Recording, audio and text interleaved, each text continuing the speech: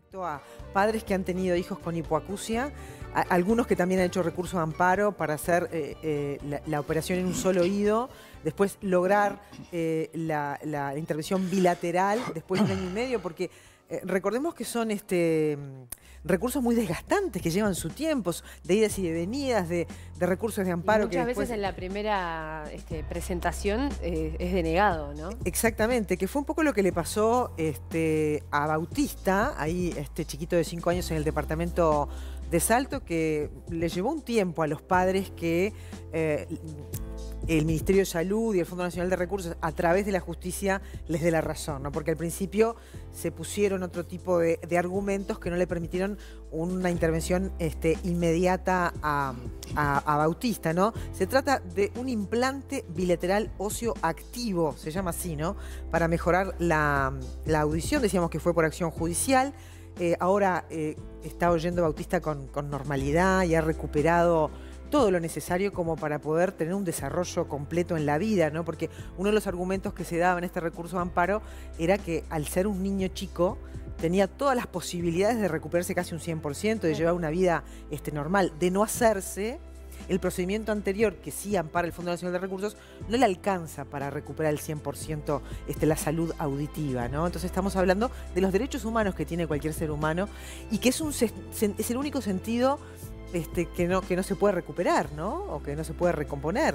a través de esta operación se puede recomponer justamente. Claro, es, por el, perdón, es el único que sí. De repente otros sentidos. No hay operación que valga, exactamente, no hay intervención que valga. Ahí está. Bueno, entonces un poco esa es la historia de, Vamos a contar qué fue lo que le hicieron, doctor, para que se entienda. Lo de Bautista, yo por, digo, por la información que aportó producción, por lo que tengo entendido, estábamos ante un niño que tenía una agenesia del... O sea, el oído se divide en tres partes, oído externo, medio e interno. El oído externo tiene el pabellón auricular y conducto auditivo externo, termina la membrana del tímpano. Oído medio son tres huesecillos, eh, martillo, yunque y estribo. Y después el oído interno, donde se genera, digamos, toda la parte bioeléctrica que lleva el cerebro y, bueno, se, se consolida ahí la, la audición.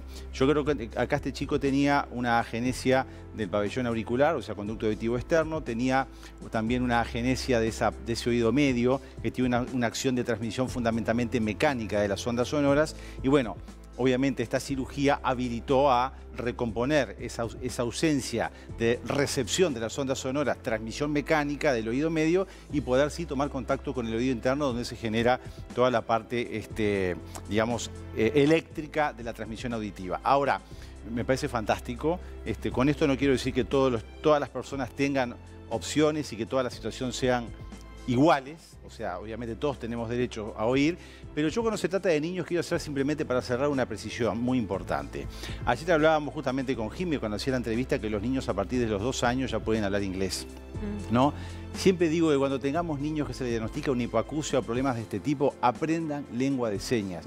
Por favor, tomen como segunda lengua la lengua de señas, porque mientras dura todo este proceso que implica diagnósticos, idas y vueltas, rechazos ante el Fondo Nacional de Recursos, que después tengan que intervenir los abogados, que los abogados lleguen se perdió un tiempo precioso de lenguaje, de sociabilización y de aprendizaje de esos niños. Y muchas veces los padres rechazan eso a la espera de resoluciones de este tipo y perdimos cinco o seis años de vida de un niño. Entonces simplemente me parece fantástico todo esto, que no es aplicable a todas las situaciones, pero que por favor siempre tengan en cuenta el aprendizaje de una segunda lengua, como es la lengua de señas, para aquellos chicos que a veces recuperando la audición no lo, hacen completamente, igual tienen algunas dificultades. Ya vamos a charlar con, con Carmen Vázquez que es este, la abogada bueno, que eh, eh, amparó a, Bautista y a toda su familia y lograron este recurso de amparo. Y ya vamos a ir al, testimonio que tiene ahí de este otro, de caso de una persona más grande, pero que también atravesó este, lo mismo, pero decir que son operaciones muy costosas además, que no todo el mundo puede.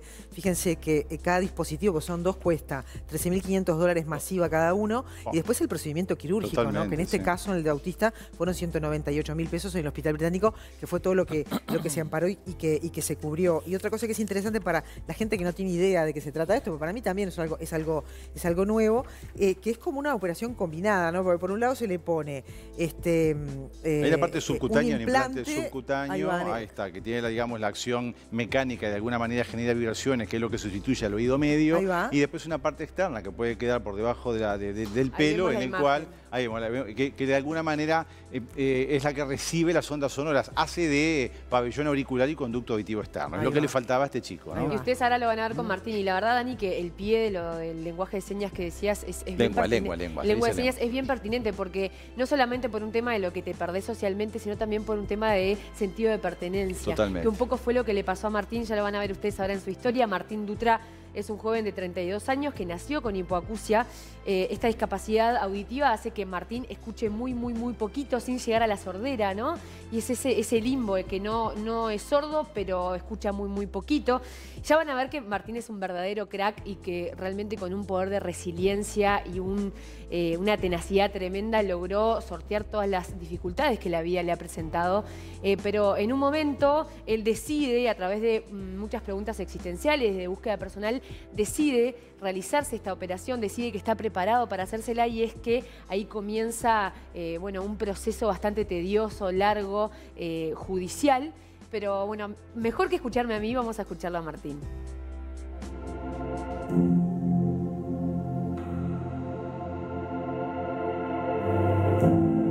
Yo nací con hipoacusia bilateral. Escucho un poco, o sea, bien bajito, que cuando tengo una conversación de, con una persona me permite escuchar un poquito, pero siempre me estoy apoyando en la lectura labial, que yo como que voy, de chiquito también hasta ahora, como que voy conectando las palabras que voy escuchando, me voy imaginando, llenando como en los espacios vacíos. A los 18 termino el liceo en 33 y me vengo a Montevideo a estudiar ingeniería en sistemas. Y ahí de vuelta, como te decía, en el, en el liceo no, no, no lo comunicaba a los profesores. ¿Y por qué nunca le dijiste a los profesores de tu situación? En ese momento era un tema de aceptación. Pues cuando uno, o sea, no, no hay que generalizar, no, no somos todos, pero cuando uno es, tiene esa edad, esa adolescencia, siempre como que quiere ser igual a los demás. Y yo en esa época no conocía a nadie que igual a mí. Entonces era como en, en esa, en ese afán de, de ser igual a los demás, quería ver si podía pasar desapercibido, si nadie se enteraba. Obviamente que algunas veces no me salía bien, por ejemplo, por ejemplo, a- un profesor decía que había que entregar tal cosa a tal fecha, yo jamás me enteraba Claro. y después perdí el curso por eso. En ese momento no, no- no lo razonaba mucho, pero ahora me di cuenta, claro, me perdía todo lo que estaba pasando alrededor. Y, yo, y no disfrutaba todo lo que debería haber disfrutado esas situaciones, ¿no? Hasta que llegó un punto que dije, "Ta, no, esto no tiene sentido, o tiene sentido hacer como que escucho. Cuando dije que ta, debería cambiar algo, empecé a aprender lengua de señas en la Asociación de Sordos. Ahí como que, es como se llama ahí como que crisis de identidad. O sea, cuando yo nunca había conocido ninguna persona sorda, ahí empiezo a conocer personas más sordas que yo o igual.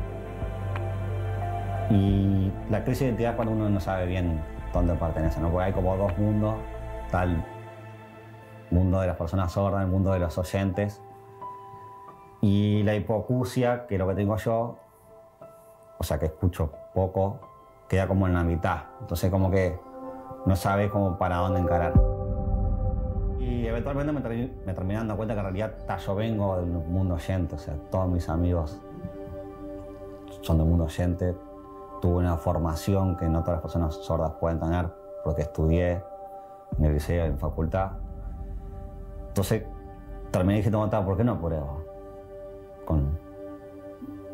Ha- Hay una posibilidad, ¿por qué, ¿por qué seguir luchando por encajar en un mundo que sin una pataudición no voy a encajar nunca? Y ahí decidiste operarte. Ahí decidí operarme y ponerme un implante de conducción ósea, se llama. Me llevó como ocho meses el proceso y me dijeron que no. Así que ahí voy, voy con una doctora, una otorrinolaringóloga, que me sugiere hablar con, con una abogada, Carmen Vázquez, ella me comenta la posibilidad de ir al Fondo Nacional de Recursos, pedirlo y ver qué pasa. Ellos me dicen que no tampoco, que, no, que por más que tienen que darlo, no lo dan. Y ahí vamos, hacemos una demanda de amparo. La parte del Fondo Nacional de Recursos lo que alegaba era que yo había podido terminar la facultad, estaba trabajando y como que ya no, no que había, como que había demostrado que no necesitaba un aparato de audición para, para vivir. En audiencia ni siquiera escuchaba ni, al juez, ni a la jueza, ni, ni a la otra parte. Tampoco, es, eh, es, una instancia, una demanda de amparo es como muy fuerte emocionalmente. Uno está parado ahí viendo como otra parte te quiere decir que no. Y me hubiese gustado explicarle, Que en realidad, o sea, la parte laboral es solo una pequeña parte de la vida. Si yo me hubiese, no me hubiese esforzado por, hacer la facultad o terminar el liceo, me hubiesen dado. Pero como me esforcé, como que ahí, o sea, en toda esa parte de facultad, obviamente yo salía un poco, o sea, no, no socializaba mucho, como que dejé muchas cosas de lado para terminarlo. ¿Y para qué entonces? Para, que cuando lo preciso, cuando me doy cuenta, cuando hago un cambio personal, lo preciso para mejorar mi parte afectiva, ¿no? mi parte social, me digan que, no. Hicimos una demanda por la vía ordinaria. Y ahí, de vuelta con la misma otra parte, o sea, con los mismos argumentos de que ya había, había podido estudiar, que, que, no, no, no necesitaba, pero ahí lo ganamos.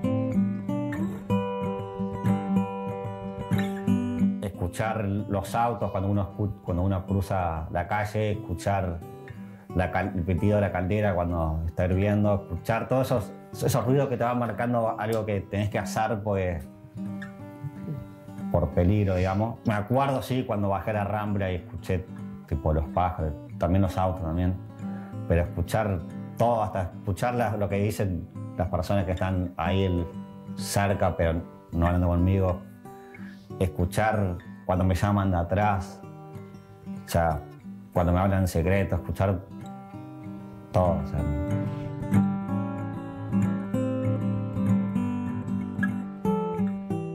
Tremenda historia de Martín Dutra, fue uno de los representados por quien recibimos ahora en la mesa presencial y te agradecemos mucho a Carmen Vázquez, este, abogada, este, experta en recursos de amparo en lo que es el ámbito de, la salud, que además es una historia tremenda la, de Carmen, pero realmente este, moviliza todo lo que estaba contando Martín, ¿no? Sí, la verdad que como le decía al comienzo, ¿no? Para mí por lo menos fue como un, cachetazo a, las excusas, ¿no? Este, un chico que durante más de 30 años de su vida estuvo en una carrera titánica de ¿no? Eh, pelear o enfrentar esa discapacidad auditiva intentando ser como los demás y lo importante que fue para él ese encuentro con el otro mundo, ¿no? con el mundo de los sordos, cómo, cómo le impactó en su vida. Y también contarles que Martín tenía la necesidad de dar algo ¿no? a esos dos mundos y empezó a dar clases eh, en lengua de señas de, programación, que es lo que él sabe hacer, eh, que es un ingeniero y bueno, es, un crack programando, y da clases para Ceibal un poco también para devolver y está involucrado con esos dos mundos. nada, a mí me parece un tremendo ejemplo de Martín y le agradezco de corazón abrir este, su historia con nosotros. Claro, y esto nos da pie para, pensar los aspectos legales que tiene esto, ¿no? Y cómo el Fondo Nacional de Recursos, Carmen, y el Ministerio de Salud Pública todavía no contemplan este tipo de intervenciones para casos que realmente son excepcionales, porque ya lo demostró Martín, Lemos Bautista, era la manera, no había otra manera, ¿no?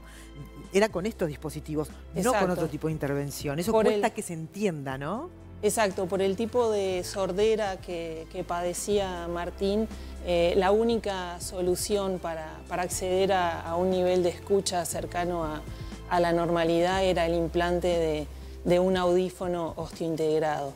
Eh, hay otras soluciones auditivas, pero en su caso no, se aplicaban. Ah, ¿Sentís que sienta un precedente estos triunfos? Eh, sí, de alguna forma ya se, o sea, se había empezado un poco antes eh, a hacer amparos eh, por audífonos osteointegrados. Eh, es algo igual que, empezó mucho después del tema de, los implantes cocleares. El audífono osteointegrado viene a ser como el primo hermano de alguna forma eh, del implante coclear, eh, solo que eh, el implante coclear se aplica a personas que padecen de hipoacusia en el oído interno, que, es sinónimo de la cóclea, es como un oído interno artificial. En cambio, los implantes osteointegrados son la solución auditiva para la gente que padece de hipoacusia con asiento en el oído externo o en el oído medio. Pero son los mismos fabricantes que lo producen, tiene una tecnología similar eh, lo que hace en realidad el, implante osteointegrado es bypassear el oído externo y el oído medio. Hay gente que, nace con, eh, problemas de, hipoacusia, que es congénita, y hay gente que se vuelve sorda por infecciones, por tumores o lo que sea, y entonces eh, lo que hace el implante osteointegrado justamente es conducir los sonidos por la vía ósea a través del hueso mastoideo y entonces así se llega a la cóclea, que en el caso de, este tipo de personas está, está, preservada. Y eso permite una ganancia auditiva, eh, por ejemplo, en este caso, de más o menos 50 decibeles, que es un montón.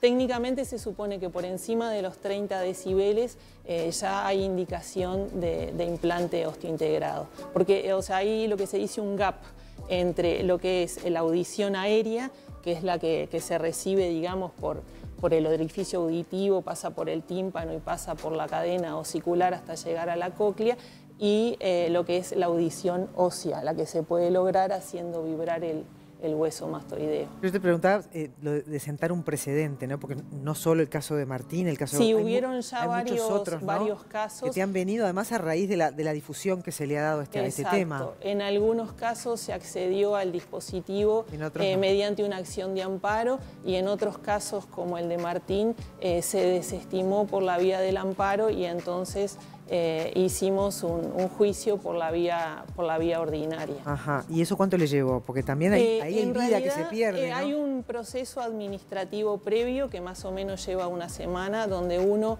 le pide por las buenas a, los demandados, o sea, al ministerio y al, y al fondo, que acceda a brindar estos dispositivos de la misma forma que, que brinda los, los cocleares, porque el primer coclear eh, se brinda en, muchos casos, o sea, para mí hay como una injusticia, digamos, porque de alguna forma se discrimina a los sordos por el tipo de sordera que padecen y una vez que se presenta la demanda de amparo, el amparo es un juicio muy, muy rápido, a los tres días eh, ya se tiene la, audiencia de primera instancia y máximo en tres días ya se tiene la, sentencia de primera instancia. el caso de Martín fue más complejo justamente por eso. Fue más complejo porque en primera instancia se desestimó porque se entendió de alguna forma que era demasiado exitoso como para justificar eh, la urgencia. Eh, hay como un mito respecto a que eh, la acción de amparo requiere urgencia o riesgo de vida, que poco menos hay que llegar con el paciente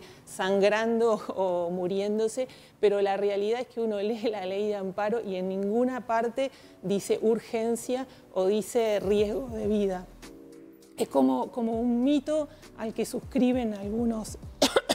Perdón, un poquito de agua capaz que le podemos dar a Carmen. Pero en realidad lo que requiere la ley de amparo es actualidad o inminencia eh, de la lesión. Y, bueno, ¿qué más lesión eh, que eh, perder calidad de vida?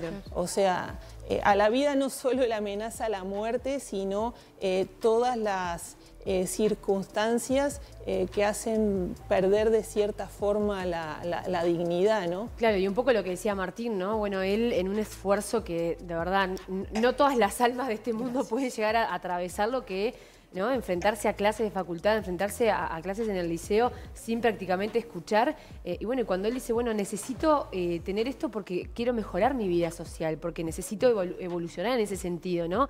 Y cómo, cómo, un poco e, esa parte tampoco se evalúa, y se evalúa solamente el desarrollo capaz que em, académico o profesional. Y también comentarles a ustedes, porque no sé si quedó claro en el informe, que Martín eh, lo hizo en plena pandemia, este, este proceso judicial. Y cuando hablaban de él en algo que iba a transformar su vida, él no podía escuchar y no podía leer los labios porque tenían tapaboca. Imagínate gente lo desesperante que es, ¿no? Y cómo tampoco esas cosas a nivel judicial eh, se tienen en cuenta de decir, bueno, todos los presentes tienen que llevar tapaboca inclusive. Claro, y Carmen, vos mientras oíamos a Martín explicabas esta confusión de los sonidos, ¿no? que se genera por esta porque quien padece este tipo de sordera, que era la misma que tenía Beethoven, no es que no escucha nada, eh, o sea, por encima de, los 70, 80 decibeles eh, puede acceder a escuchar algún nivel de ruido y si le gritan, eh, por ahí puede entender el habla. El problema que tiene es doble, es de discriminación y de localización de la fuente del sonido.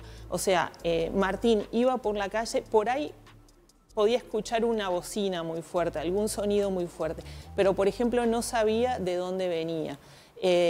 Otro problema es la discriminación del habla, sobre todo con ruido de fondo. Imagínate, eh, nosotros en este momento nos, sentamos en un restaurante, estamos hablando, nos escuchamos mutuamente, sentimos en otro plano lo que pasa en las mesas de al lado, más allá podemos escuchar capaz que los ruidos de la cocina o de la calle y tenemos la conciencia de que estamos escuchando sonidos en diferentes planos pero a quien padece este tipo de sordera se le entreveran todos los sonidos. Entonces eso hace que no puedan discriminar el, habla. Imagínate esto en un salón de clases, en un recreo, en un cumpleaños para un niño. Es como vivir en un mundo de, de, sonidos. Y ahí se les afecta el equilibrio también, ¿no? En algunos casos sí. Por ejemplo, hice un amparo para una chica de Florida que en un momento accedió a conseguir un trabajo en la, zona franca, pero ella vivía en la ciudad y eh, había poco transporte. Entonces ella iba en una, empezó a ir en una motito a ese trabajo. Pero lo que le pasaba es que dos por tres, como ella tenía, no, no le pasa a todos, pero como tenía afectado el equilibrio, se caía y pobre se, accidentaba y entonces en un momento decidió hacer esos 10 kilómetros en bicicleta, que le pasaba lo mismo, pero por lo menos se caía y, se lastimaba menos. hay toda una serie de trastornos que el oyente normal no se imagina y toda una serie de cosas eh, que, no, que no valora. Hace poco, por ejemplo, eh, le hicimos con, mi socio Pedro La Rosa, porque no soy yo sola, tengo un socio en esto, un amparo a otro chico de 15 años, Anthony, que por suerte ya hace unos días eh, fue operado. Ahí va. Y Brandon Urroz no es tuyo porque está escribiendo Gladys, mamá de, Brandon, tiene cinco años, que nació con hipoacusia severa, pasaron por el mismo este, situación, primer implante se lo pagó el Fondo Nacional, le colocaron ya hace tres años, pero el segundo tuvimos que a juicio, a juicio ya hace un año, lo tiene, hoy escucha como cualquier persona con sus dos oídos y está aprendiendo a hablar y a escuchar día a día. Es hermoso oírlo decir mamá, papá. Nosotros muy agradecidos con los profesionales que junto a nosotros lucharon siempre. En nuestro caso, para pasar el juicio, fue con el señor Ana, Juan Cereta, mirá, con Juan Cereta le hicieron a todos este, los médicos que eh, respaldan todo esto. Muchas gracias. Se nos está terminando el tiempo, pero me gustaría decirte, Carmen, que estaría buenísimo hacer un cafecito un día contigo, porque tenés una historia impresionante de vida. Este, estabas en Argentina haciendo otra cosa que nada que ver, dedicándote a la industria textil. Un día volviste, terminaste la carrera de abogacía, te especializaste en recursos amparo, escribiste mucho sobre eso y sobre todo en los aspectos que hacen a la salud humana y en forma honoraria, ¿no? Porque muchas veces vos no cobrás estos, estos, estos casos, ¿no? Así que, bueno, felicitaciones por esa, por esa parte también. Y, la invitación a las familias a que se animen a acercarse, ¿no? Un poco también, porque hay muchos y sobre todo en el interior capaz que no saben que existe la posibilidad de mejorar la calidad de vida. Exacto. Bueno, te venís a un cafecito un día, Carmen, dale. Bueno, gracias. Bueno, felicitaciones por todo tu trabajo, ¿no? Gracias. Muy bien.